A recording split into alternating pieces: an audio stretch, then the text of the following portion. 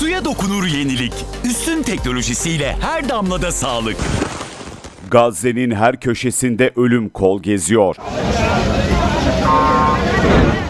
İsrail ordusu Filistinlileri kadın, çocuk, yaşlı ayrımı yapmadan katlediyor. Gazze şeridindeki Sivil Savunma Müdürlüğü İsrail ordusunun son 24 saatte düzenlediği saldırılarda onlarca Filistinlinin öldüğünü duyurdu. Bombalamalar sonucu ölenlerin arasında kadın ve çocukların olduğu belirtildi.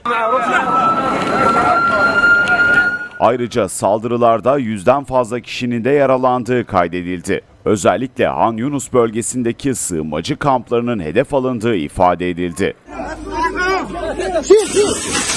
Enkaz altında hala çok sayıda kişinin olduğu ve ekipman eksikliği yüzünden kendilerine ulaşılamadığının altı çizildi.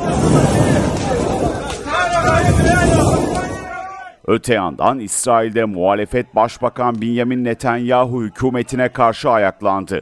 Demokratlar Partisi Başkanı Yael Golan, muhalefet partileri liderlerine çağrı yaptı. Netanyahu hükümetini devirmenin yollarını ele almak üzere acil bir toplantı yapılmasını istedi.